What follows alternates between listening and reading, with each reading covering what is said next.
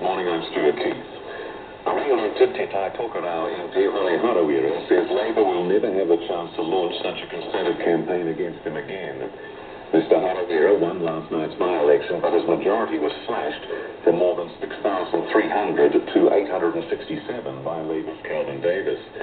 Mr Harawira says his victory comes despite the might of the Labour Party machine, and that makes the victory crushing. He says Labour is much better resourced and was able to employ advertising, flyers and money to help. Mr Harawira says the party won't be able to campaign as strongly against him in November's general election because it will have to focus on the rest of the country as well. But Labour says it can win Te Tai Tokerau in the election because the close result means it is now a marginal seat.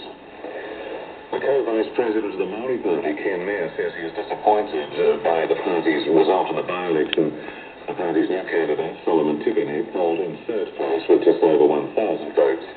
Ken Mair says it was an extraordinary campaign, and he is proud of the way Mr. Tipene conducted himself against some formidable opponents. He says the challenge for the